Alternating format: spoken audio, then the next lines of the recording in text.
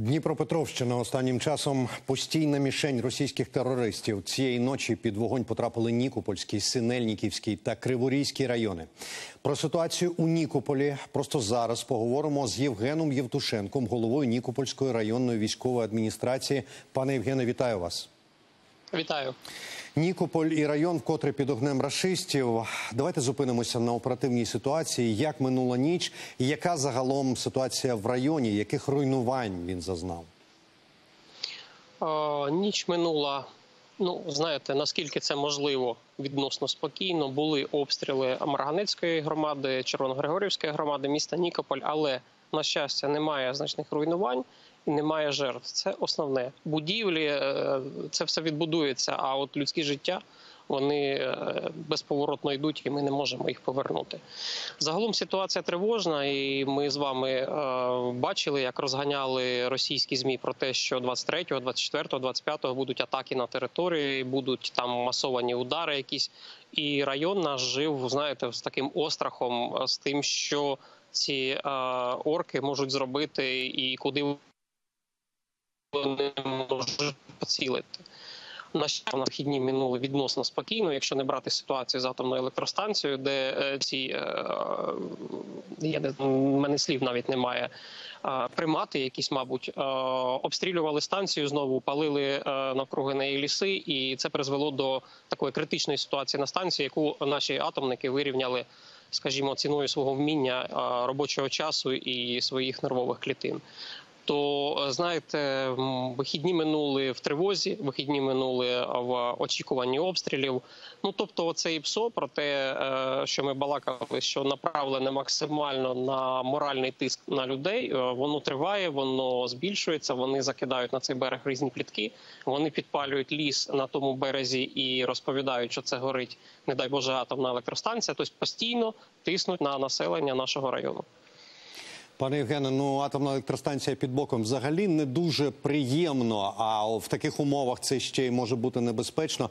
Наскільки ви вважаєте ймовірним сценарій, за якого Росія може допустити аварію на атомній станції? І е, друге питання: чи на такий випадок готові протоколи евакуації, чи які ще? Ну, дивіться, вчора здійснювався обстріл наших територій, в тому числі з території атомної електростанції. Ну тобто на території станції, де знаходиться шість реакторів, найбільші електростанції в Європі, працювала російська військова техніка. Це вже ситуація, яка ну знаєте, про яку треба кричати на весь світ. Ми це робимо. Ми доносимо максимально і сподіваємося, що міжнародна спільнота, міжнародні організації, які повинні опікуватися цим питанням, вони врешті-решт звернуть на це увагу, приїдуть і побачать це. Наразі ситуація стабільна. Я знаєте, дуже хвилююся за це, і маємо ми спілкування, скажімо, з жителями і того берега з цього питання. А люди тримаються. Люди тримаються і виконують свою роботу. І знаєте, у кожного є свій фронт на сьогодні. Хтось воює десь е, з орками на першій лінії. Я рахую, що не меншим подвигом сьогодні, тихим подвигом є е, працювати на цій електростанції. Кожного дня вирулювати цю ситуацію в те, щоб це не закінчилось великою аварією. Наразі а, ми маємо офіційне джерело у нас, а, яке повідомляє про те, що на станції ситуація стабільна, і це добре.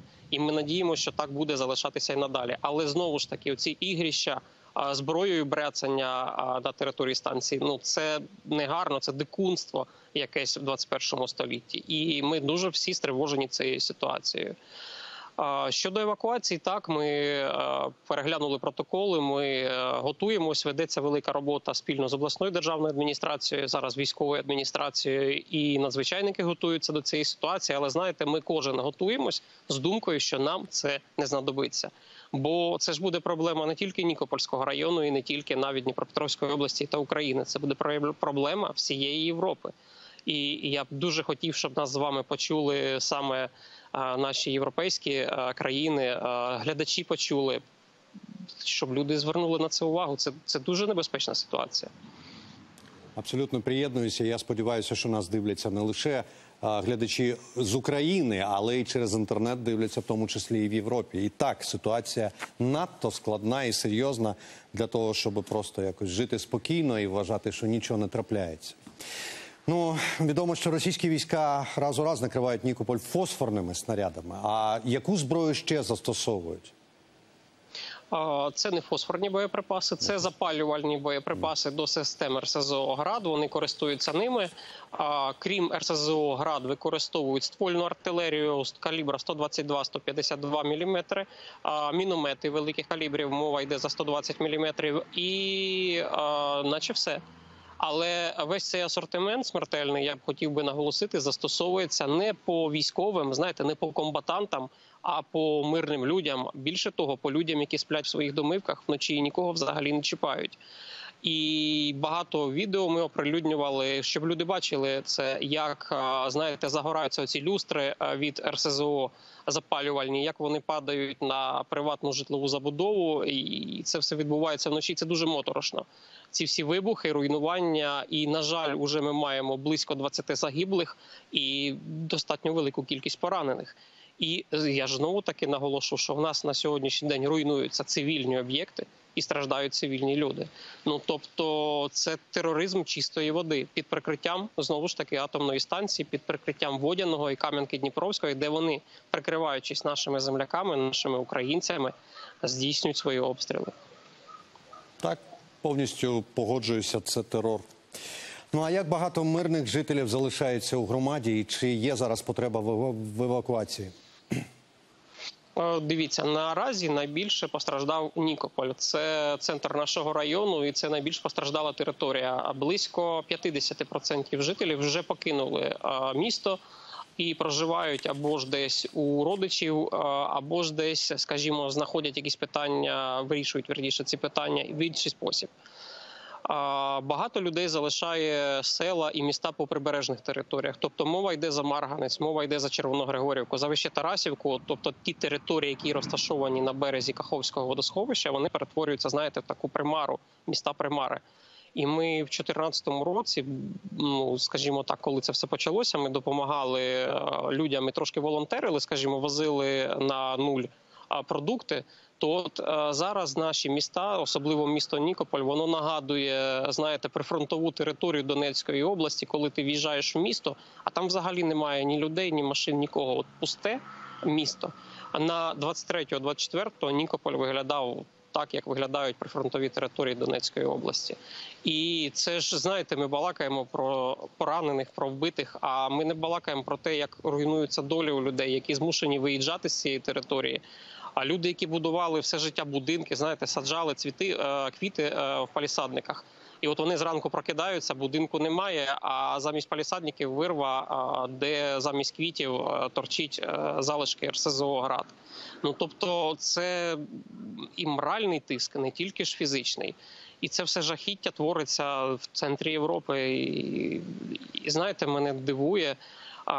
От оці російські новини вони строять якусь таку знаєте паралельну реальність, де вони борються з нацистами, де вони борються там а, ну буцімто нацистами, якимись там бендеровцями міфічними. А насправді ми кожного дня, кожного ранку, кожного вечора оприлю- оприлюднюємо фотодокази, відеодокази, як вони борються з мирним населенням України. Тобто війна йде не з е, військовими.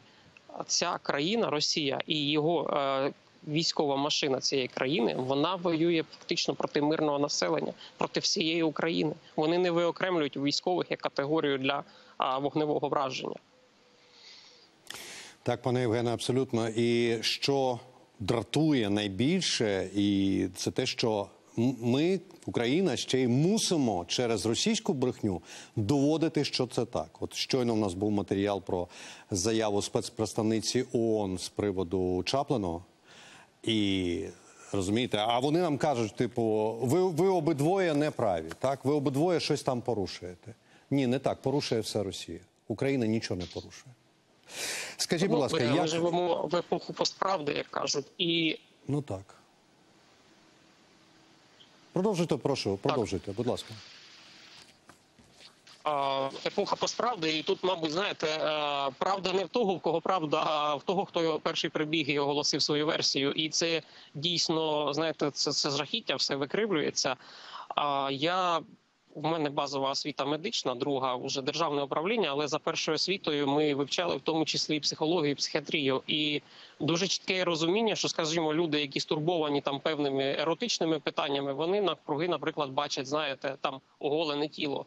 Отак і Росія вона кругом себе бачить тільки бандеровців, фашистів і, скажімо, якісь терористичні організації. А проблема ж в тому, що це у них в голові. Вони транслюють нам через свої СМІ свій внутрішній стан, свій внутрішній світ. Оце треба зрозуміти е, і нам всім, і Європі, і е, нашим міжнародним партнерам, що це країна, їх пропаганда е, дорівнює їх внутрішньому світосприйняттю.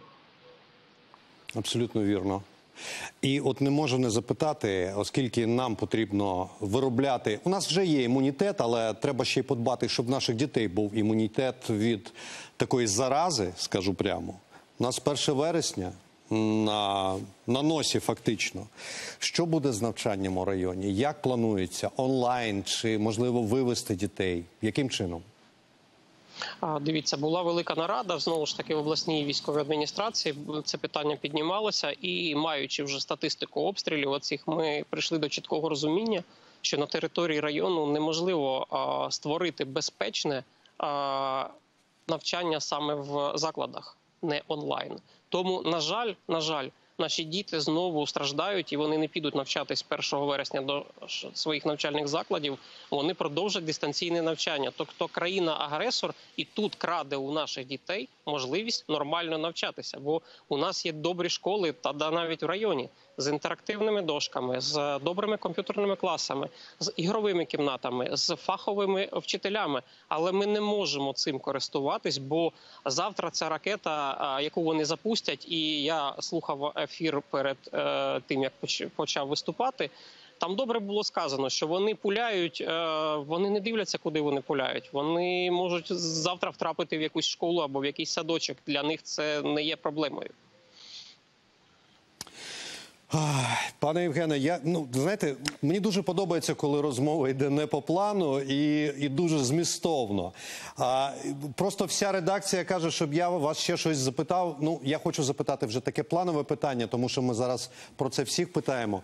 Як з опалювальним сезоном? Що планує е, місто, район? А, ведеться робота, системна робота з придбання альтернативних джерел опалення. Тобто ми балакаємо за модульні пілетні котельні, за перехід е, з природнього газу на електрику, наприклад. Тобто зараз шукаються рішення для того, щоб працювали базові комунальні заклади. Ми балакаємо з вами про в першу чергу про медичні заклади, про заклади, які надають адміністративні послуги, да і власне адміністрування території. Воно ж здійснюється з будівель адміністративних. Вони теж повинні функціонувати.